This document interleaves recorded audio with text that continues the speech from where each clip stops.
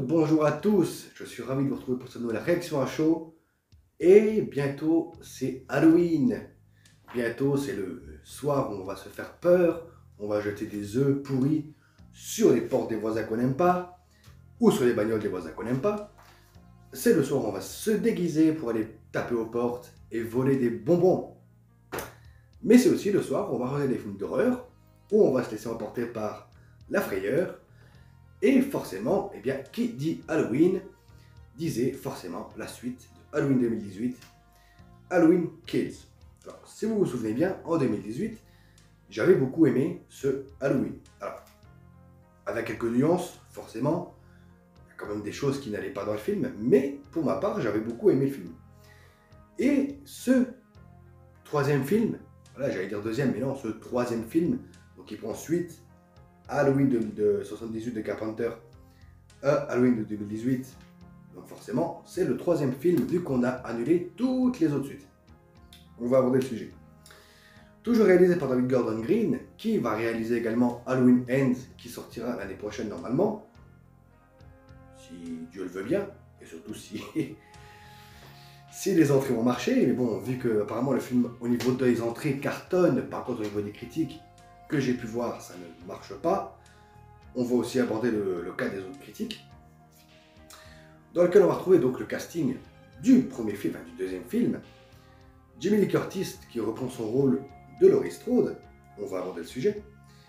Jodie Green qui, reprend le rôle de Karen, la fille de Laurie Strode. Nancy Stephens qui revient, qui revient après des années, après 40 ans d'absence, qui revient dans le rôle, alors elle avait le rôle de l'infirmière qui aidait le docteur Loomis dans le premier film. Kyle Richards qui reprend ce rôle de Lindsay, Lindsay Wallace, qui était la petite fille euh, qu'une des amies de Laurie, si je me souviens bien dans le premier film de 1978, euh, gardait, et que Laurie a sauvé avec Tommy Doyle. Tommy Doyle qui revient dans ce film, le personnage par l'acteur, l'acteur qui reprend, qui prend le rôle, qui reprend, qui prend le rôle, c'est Anthony Michael Hall, donc dans le rôle de Tommy Doyle. Et on a également Andy Matikash, Matishak, pardon, c'est encore un nom bizarre tout ça, qui reprend le rôle de Allison, la petite fille de Laurie Strode du film de, 2018. Alors, ça va être bizarre d'aborder ce film. Alors, première chose, ben, j'ai passé un bon moment quand même. Malgré les incohérences, malgré tous les défauts qu'il peut y avoir dans le film, oui, il y a beaucoup, beaucoup de défauts, mais je me suis amusé je me suis amusé. Même si pour un film d'horreur, c'est pas vraiment le mot, s'amuser. Mais on va faire un parallèle de toute manière avec les vieux films des années 90, 80. Vous allez voir. Donc, dans ce Halloween Kills, on va suivre Michael Myers qui va tuer tout le monde. Donc, tuer tous les personnages qui font des, choix débiles.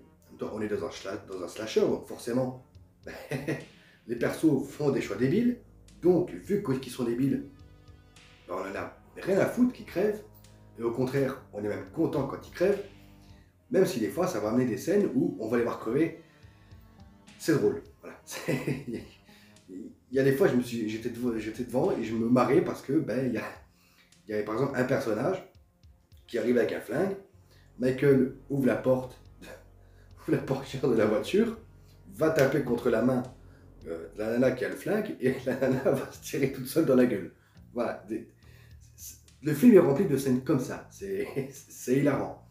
Même si ça peut paraître être un défaut, mais on va aborder le sujet. En parallèle, on va suivre Karen. Karen, donc la fille de Laurie Strode, qui va prendre un peu plus d'importance dans ce film. C'est pas pour rien.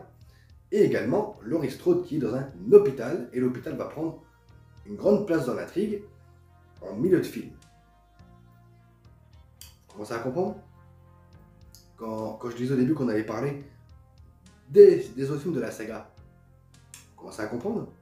On annule tous les films, mais on se, se gêne pas pour piocher un peu partout des idées, même des scènes carrément qui étaient là, dans les autres films. Donc oui, on voit pas beaucoup Jamie Lee Curtis dans le film. Euh, il y en a qui exagèrent, qui disent que on la voit que 10 minutes dans le film. Non, on la voit pas que 10 minutes dans le film on la voit pas beaucoup, mais elle n'est pas là que 10 minutes. Et même si elle était là que 10 minutes, son rôle est crucial à l'intrigue, son rôle est crucial, même pour le reste, même pour le prochain film qui arrivera. Ça, je vous le garantis. Donc, Karen Safi va prendre beaucoup plus d'importance parce que c'est elle qui va prendre les décisions, c'est elle qui va faire les bons choix et c'est elle qui va tout faire pour amener Myers dans un piège. Piège qui sera là à la fin, en fin de film, on va retrouver Myers contre une quinzaine de bonhommes.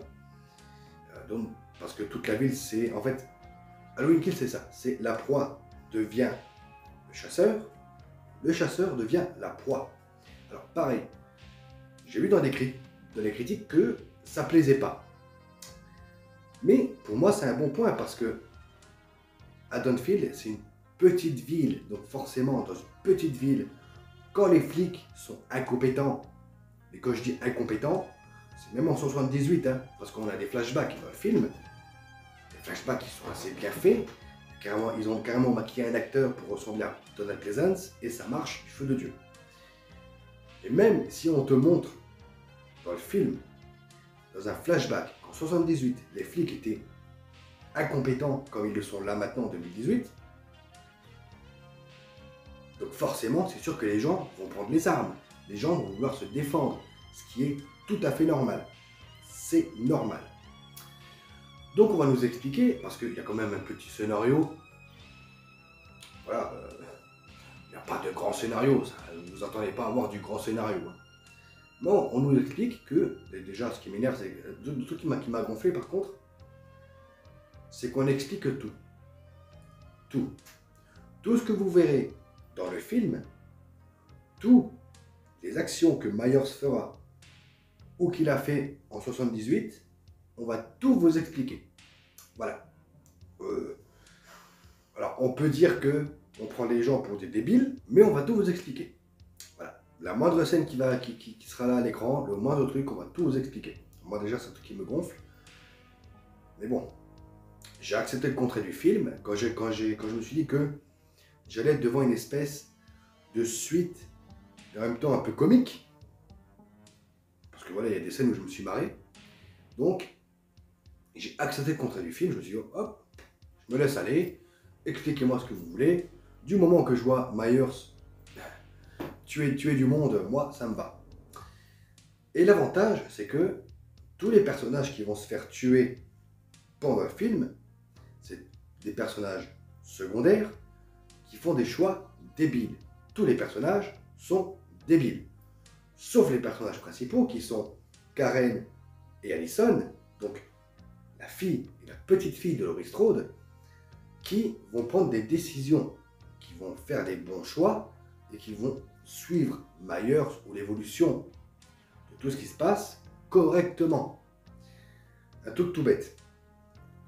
Pendant que toute la ville se regroupe à l'hôpital en croyant que Myers est dans l'hôpital, ça c'est pour faire référence au deuxième film, on va parler des références, vous inquiétez pas, tout le monde va s'acharner sur un pauvre type malade, et ils vont tous croire que c'est Myers, et donc forcément ils vont le pourchasser dans tout l'hôpital, même Tommy Doyle, parce que c'est Tommy Doyle qui est, au début du film, l'instigateur de tout ce qui va arriver dans le film, c'est lui qui va faire les plus gros choix débiles. Donc, vous vous doutez bien que Tommy Doyle ne va pas survivre. Donc, ils retrouvent ce pauvre type et ils vont tout faire pour qu'il meure. Voilà, je ne vous dirai pas comment, mais ils vont tout faire pour qu'il crève. Et quand ils, se quand ils vont se rendre compte, enfin plutôt quand Karen va, va aller leur dire que c'était un innocent, qu'elle a essayé de les prévenir, et c'est vrai pendant 10 minutes, cette scène dure au moins 10 minutes. Pendant 10 minutes, elle va tout faire pour les prévenir que c'est pas Myers, que c'est un innocent qui sont en train de se tromper et qui font des choix débiles. Forcément que les personnages sont débiles. On est dans un slasher. Forcément qu'ils sont débiles, ils vont tous se faire trucider. forcément. Et en fin de film, on nous apprend que. Alors oui, je reste en surface parce qu'il y a quand même des choses que je ne veux pas vous spoil si vous voulez voir les films. Et en fait, le film, on nous apprend que que Myers n'est pas humain, qu'il a une malédiction et qu'il se nourrit de la peur des gens. Parce qu'au bout d'un moment, vers la, fin, il est mort. Il se prend, je sais pas combien de balles, il se prend euh, un couteau dans, la nuque, mais il se relève, il va trucider la quinzaine de personnes qui étaient là pour le prendre en piège. Donc là, on nous apprend, et c'est Laurie Strode qui nous l'apprend, qu'en fait, Myers n'est pas humain, qu'il aurait une malédiction et qu'il se nourrit de la peur des autres et que c'est ça qui le ramène à la vie. Halloween 4, Halloween 5, Halloween 6. Vous, vous commencez à comprendre les références? On fait des films pour annuler tous les autres films, mais on ne se gêne pas pour piocher ce qui se passait dans les autres films. Il y a carrément une scène qui est reprise, limite telle quelle, d'Halloween Résurrection. C'est pas des conneries. Je vous jure que c'est vrai. Ils ont réussi à faire, un à faire une scène qui fait référence à Halloween Résurrection. Je vous jure que c'est pas des conneries. Donc quand je vous dis que. Là, on nous dit que Myers n'est pas humain. Qu'ils l'auront pas par la force. C'est forcément référence à Halloween 4, 5 et 6. C'est obligé. Je vois pas autre chose. Dans les anciens films, on nous apprend qu'il y a une secte qui, connaît la malédiction de Myers. Et on nous dit clairement que c'est pour ça que Myers revient en, vie à chaque fois. C'est pour ça qu'on n'arrive pas à le tuer. Il n'est pas humain. Et là, on reprend le même truc. Bien sûr, c'est pas dit, parce que c'est la suite du film de 78. Et ils vont jusqu'à aller à casser leur film de 2018 et le film de 78. Parce que là, on nous dit que Myers on avait rien à péter de Laurie Strode, qu'elle était juste sur son chemin, et c'est tout. Ce qu'il voulait, c'est rentrer dans sa maison, c'est tout. Voilà. Voilà ce que Myers voulait. C'est pas tuer sa sœur, c'est pas tuer Laurie, c'est retourner dans sa maison. Et Laurie Strode, ben, c'était juste une péripétie pour lui qui était sur son chemin. Et c'est tout. Donc on, va, on, a passé le film de 2018 à nous raconter tout au long du film que Myers voulait retrouver Laurie Strode et que Laurie Strode l'attendait. Et ben là, voilà. Voilà. Alors, malgré toutes ces incohérences, malgré tous ces points négatifs, est-ce qu'il y a quand même quelque chose à sauver dans ce Halloween Kills? Alors, oui, oui, j'ai quand même passé un bon moment devant, je me suis pas ennuyé, même si, ben, je vous avoue que ça m'a... Je me, suis, je me suis marré à certaines scènes de meurtre, je me suis marré quand on nous explique tout, quand euh, on va jusqu'à défoncer les deux autres films. Euh, voilà. Mais j'ai quand même passé un bon moment. Ça reste un bon divertissement, du moins qu'on accepte le contraire du film, qu'on se dit que c'est une passation de pouvoir. Voilà, d'ailleurs, le, point dernier point que je voulais aborder avec vous, c'est une passation de pouvoir. Quand j'entends que Jimmy Lee Curtis n'est que 10 minutes dans le film, bon, elle n'est pas que 10 minutes, hein, voilà, beaucoup, mais elle n'est pas que la 10 minutes. Mais quand j'entends dire que ben, elle sera là dans le troisième film et c'est elle qui va tenir le, manche, c'est elle qui va aller tuer Myers, et bien vous savez quoi? Ben, Moi je veux pas voir ça. Moi ce que j'aimerais voir dans le troisième film, c'est Allison qui prend, donc sa petite fille, qui prend les rênes et qui va aller tuer Myers.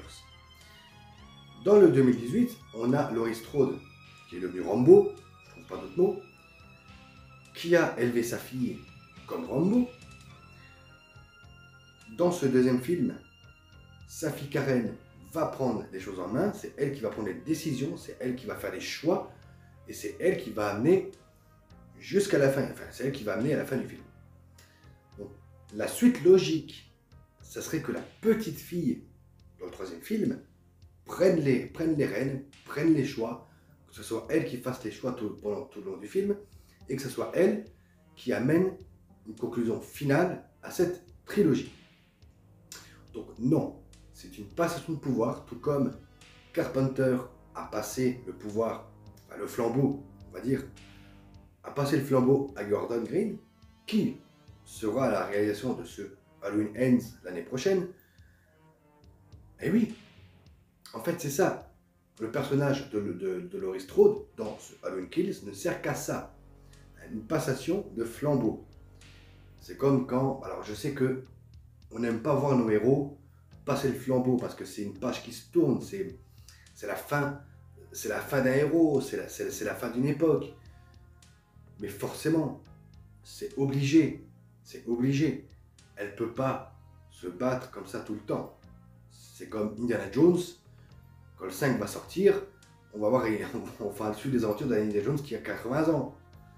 Je suis désolé, mais moi, je, à moins que le film soit au top, mais j'aurais du mal à y croire. Donc non, moi, le, le, ce passage de flambeau, il ne me gêne pas personnellement. Au contraire, je trouve, que c'est bonne chose. Il faut passer le relais. au bout d'un moment, il faut savoir passer le relais. Il faut savoir s'arrêter et passer à autre chose. Et voilà. Alors, oui, c'est une bonne surprise. C'est pas un bon film, c'est pas le film de l'année. Il y a beaucoup d'incohérences. Comme je vous l'ai dit tout le long de la vidéo, il y a beaucoup de choses qui ne vont pas. Mais on passe un bon moment. Essayez. Posez votre cerveau. Cherchez pas de scénario. Posez le cerveau. Regardez le film. Et vous verrez, vous allez passer un bon moment. Quant à moi, je vous retrouve très bientôt. Continuez les films, à jouer aux jeux vidéo.